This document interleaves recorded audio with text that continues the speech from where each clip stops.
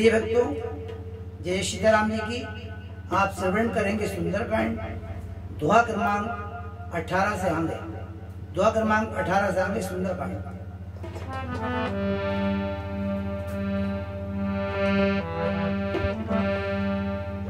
कछु मारे कछु मर्दे श्री रामा कछु मिलियस धर, दूर शिया रामा।